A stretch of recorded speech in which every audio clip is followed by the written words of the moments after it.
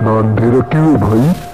Hello students so पिछले video में हमने देखा था मल्टीप्लाई विथ 9 की मेथड और आज हम देखने वाले हैं मल्टीप्लाई विथ 99 की मेथड ओके वैसे 9 से मल्टीप्लाई करना कोई बड़ी बात नहीं थी, वो तो बच्चों बच्चों का आता है। लेकिन फिर भी हमने उसकी अलग ट्रिक देखी थी, जिसकी वजह से आपका एग्ज़ाम में टाइम बच सके। और आज हम देखेंगे कि मल्टीप्लाई विथ 99 कैसे करेंगे ओके जनरली लोग क्या करते हैं, जैसे कि ये एक नंबर है 56 इसको 99 से मल्टीप्लाई करना हो तो क्या करेंगे?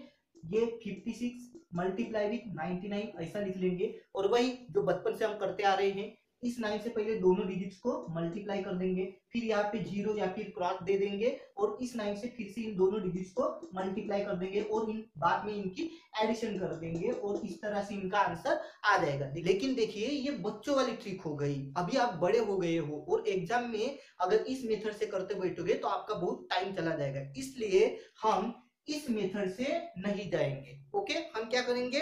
सो हम हमारी स्मार्ट ट्रिक से करेंगे। सो अब होगा उजाला हमारी स्मार्ट ट्रिक का। ओके? सो हमारी स्मार्ट ट्रिक क्या कहती है? देखिए जैसे कि ये एक नंबर है इसको हमें 99 से मल्टीप्लाई करना है। सो so, हमने जो पिछला वीडियो बनाया था उसमें क्या किया था? जब हम 9 से मल्टीप्लाई करते थे तो उस नंबर के पीछे एक ज़ीरो बढ़ा देते थे। ओके यहाँ हम क्या करेंगे? 56 को 99 से मल्टीप्लाई करना है तो क्या करेंगे? 56 के पीछे दो ज़ीरो बढ़ाएँगे।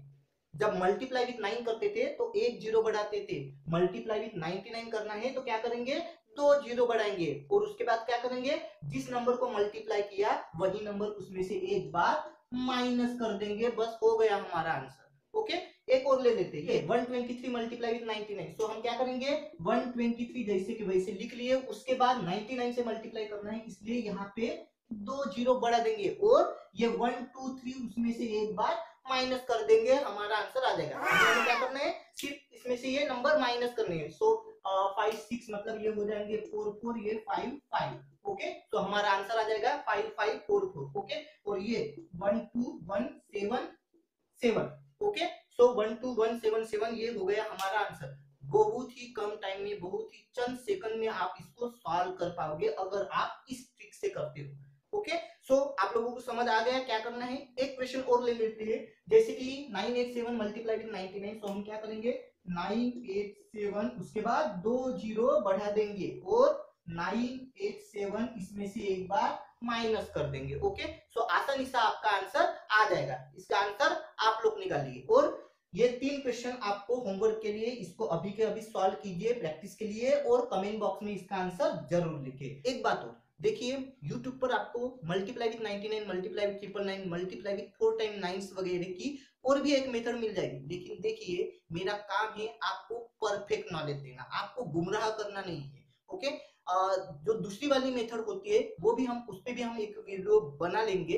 लेकिन देखिए उसमें होता क्या है जो मल्टीप्लाई का हमारा साइन होता है जैसे कि ये तो दोनों साइड की वैल्यू सेम होनी चाहिए। लेकिन देखिए हमने आज जो मेथड देखी है या फिर पिछले वीडियो में देखी है वो मेथड यूनिवर्सल मेथड है। मतलब आप कहीं भी, कौन से भी नंबर हो, कितने भी डिजिट वाले नंबर हो, उनको अगर multiply with nine ninety nine या ट्रिपल नाइन से मल्टीप्लाई करना है तो क्या करना पड़ेगा? ये यूनिवर्सल मेथड से मैं पढ़ा रहा हूँ। ओके इस मेथड से आप किसी भी नंबर को कैसे भी मल्टीप्लाई करके आंसर निकाल सकते हो ओके लेकिन देखिए, जो दूसरी वाली मेथड है, उसमें क्या कहा मैंने? दोनों साइड के नंबर मतलब मल्टीप्लाई के आप पहले और बाद के नंबर दोनों भी डिजिट सेम सेम होने चाहिए डिजिट सेम सेम होने चाहिए। मतलब अगर यहाँ पे टू डिजिट वाला नंबर है तो यहाँ पर भी टू डिजिट वाला ही नंबर चाहिए। अगर यहाँ पे थ्री डिजिट वाला नंबर है तो यहाँ पे ये टू डिजिट नंबर काम नहीं करेगा। वहाँ पे आपको थ्री डिजिट नंबर ही लगेगा। ओके लेकिन देखिए, जिस मेथड से मैंने आपको बताया है, वो यूनिवर्सल मेथड है। इससे आपका आंसर कभी गलत नहीं होगा और